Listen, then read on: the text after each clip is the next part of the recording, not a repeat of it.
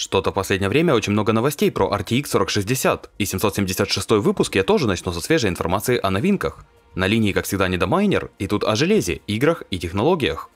Та самая видеокарта RTX 4060 Ti на 16 ГБ, по новым данным, будет иметь другой вариант графического процессора, и кушать она будет тоже больше обычной. Об этом стало известно из свежих документов NVIDIA, которые они предоставили своим партнерам. Но в этом случае важно понимать, что зеленые еще не поставляют чипы для этих видеокарточек. Это означает, что спецификации старшей RTX 4060 еще не финальные, и до ее выхода их спокойно могут поменять. В любом случае RTX 4060 Ti на 16 ГБ будет иметь отличный от младшей модели SKU, однако конструкция платы останется такой же, PG190. Куда важнее, что Nvidia сочла необходимым использовать другой вариант графического процессора для этой карты, и если в обычной будет AD106 350, то в старшей версии 351. Скорее всего, по ядрам CUDA они будут одинаковыми, но какие-то технические различия в них будут, а значит перепаять один в другой будет невозможно. Что касается потребления, то оно будет всего на 5 Вт выше, чем у 4060 Ti на 8 ГБ, где TDP составляет 160 Вт. И по информации видеокарта, старшая 4060 Ti должна быть запущена во второй половине июля, а модель на 8 ГБ дебютирует 24 мая.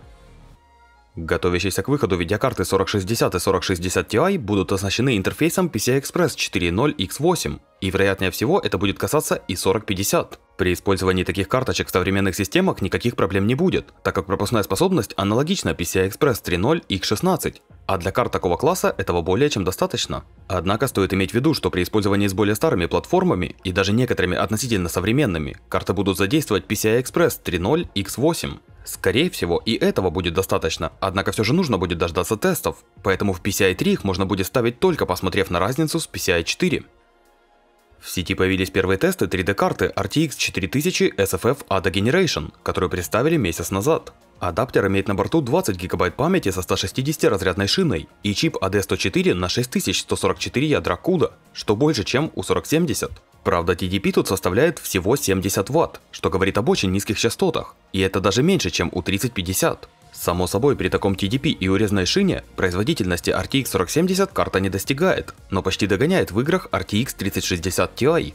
И хотя RTX 4000 SFF ADA Generation ориентирована, конечно, не на игры, это уникальная возможность протестировать столь необычный адаптер и посмотреть, на что способна новая архитектура при минимальном потреблении. В среднем карта действительно потребляла лишь 71 Вт, а крошечной системы охлаждения достаточно, чтобы GPU не нагревался выше 75 градусов. Между тем, на Яндекс.Маркете сейчас можно взять RX 6800 с нормальным объемом памяти за 50 с копейками тысяч, и это идеальный вариант, если вам не нужны лучи. Еще тут есть годный комплект DDR5 для тех, у кого не хватает бюджета сборки сразу на 32 гигабайта, а собраться хочется на современной платформе. А если вы хотите попробовать что-то новое, то советую взять растворимый энергетик со вкусом крем-соды.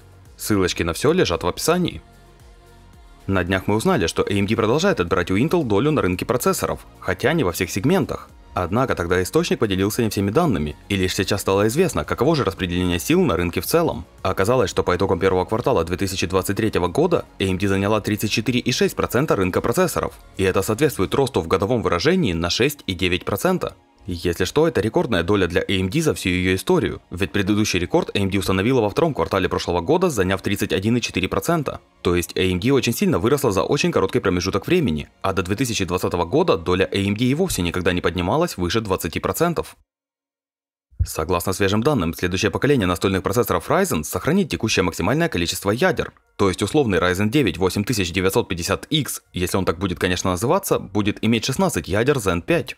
Еще сообщается, что как и в случае с Ryzen 5000 и 7000, линейка Ryzen 8000 будет начинаться с шестиядерного CPU. И известно, что модуль CCD в случае платформы Granite Ridge будет называться Eldora, и ядро Zen 5 носит кодовое имя Nirvana. TDP новой линейки будет лежать в диапазоне от 65 до 170 Вт, как и у Ryzen 7000, и новые CPU будут иметь до 64 МБ кэш памяти третьего уровня и до 16 МБ кэш памяти второго уровня, то есть как и у нынешнего поколения. Когда такие процессоры выйдут, не ясно, но судя по всему не ранее первого квартала следующего года.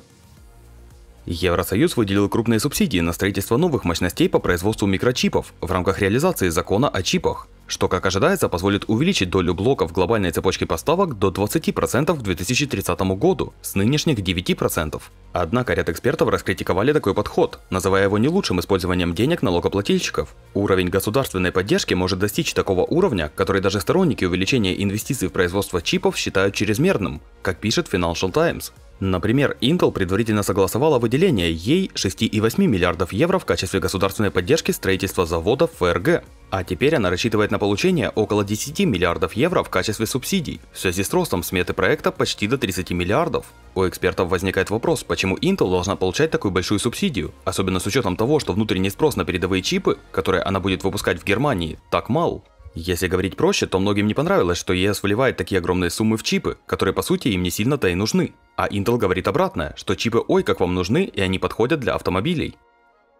Хоть жизненный цикл операционной системы Windows 10 постепенно подходит к концу, есть еще более уязвимые версии, которые очень скоро больше не будут получать вообще никаких обновлений и станут частью истории. В частности, Microsoft предупредила о том, что с 13 июня полностью прекращает поддержку версии 21H2, которая не будет получать ни качественных обновлений, ни обновлений безопасности. А вот защитить от этого пользователей Microsoft намерена принудительно, и она хочет обновить все 21H2 до версии 22H2, которая, кстати, уже не получает качественных обновлений. Дополнительно компания уведомляет пользователей о необходимости установить новую Windows 11, если это позволяет аппаратная составляющая компьютеров. Новую консоль Asus ROG Ally энтузиасты проверили на предмет запуска игр для других портативных консолей.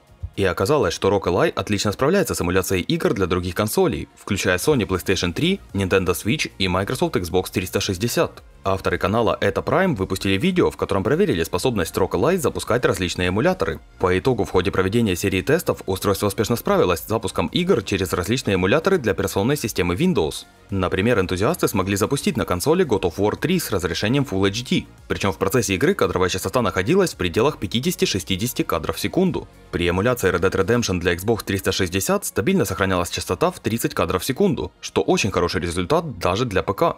А высокую производительность в эмуляции обеспечивает то, что процессор Ryzen Z1 Extreme в составе Rock Ally поддерживает инструкции AVX 512. Это означает, что многие механизмы эмуляции могут использовать расширенные 256-битные векторные расширения SIMD, и эти инструкции расширяют возможности 256-битных инструкций, вводя продвинутые операции. Так что поиграть в эмуляторы на новой консоли Asus можно с комфортом, и это еще один плюс в ее копилку, но автономность по-прежнему является жирным минусом. Портал DSO Gaming докладывает, что полностью русская хакер под псевдонимом Empress сообщила о взломе новейшей версии Denuvo в ремейке Resident Evil 4. Помимо самой Denuvo V18, от несанкционированного доступа Capcom защищали еще 3 DRM – Capcom Anti-Temper, Denuvo Secure DLC V2 и VM Protect. Как отмечает DSO Gaming, вслед за всеми последними взломами, ремейк Resident Evil 4 перечисленных DRM не лишился, и они все еще работают на заднем плане. То есть пиратская версия просто обходит защиту, а не удаляет ее. О взломе ремейка Resident Evil 4 стало известно ранним утром 14 мая, и таким образом защита новинки продержалась чуть меньше двух месяцев, хотя Хогвартс был сломлен куда быстрее. И на этой же новости сегодняшний выпуск подходит к концу, поэтому хочу сказать большое спасибо, что досмотрели его до конца, и надеюсь вы уже подписались на мой канал. Также хочу сказать огромнейшее спасибо всем, кто финансово поддерживает канал через подписки и донаты. До скорого, друзья!